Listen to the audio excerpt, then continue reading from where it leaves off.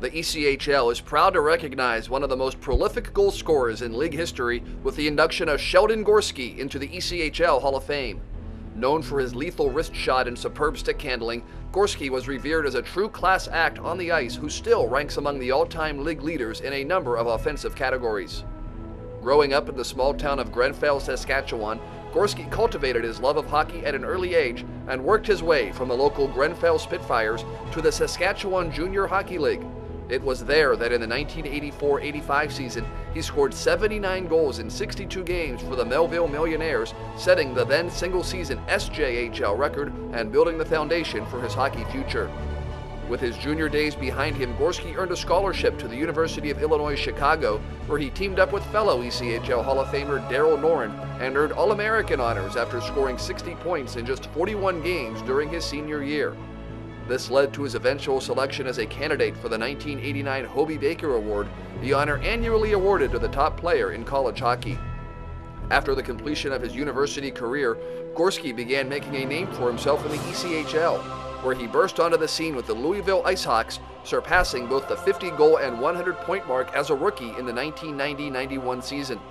He would go on to add 50 plus goal seasons the next two years and remains the only player in league history with three straight 50 or more goal seasons.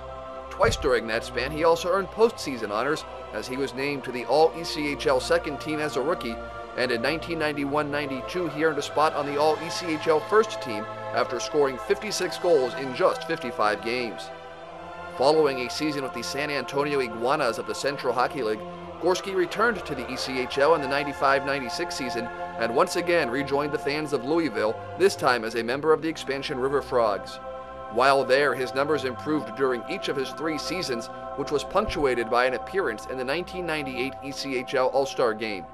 He went on to score 46 goals in the 97-98 season and added 29 assists for 75 points in only 68 games. Then in the 1998-99 season, Gorski played with both the Pensacola Ice Pilots and the expansion Miami Matadors, tallying 59 points in 68 games and concluding his ECHL career.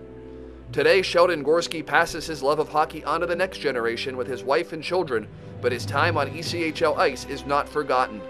During his career, Gorski averaged well over a point per game, scoring 608 points in 471 career games, ranking sixth in league history.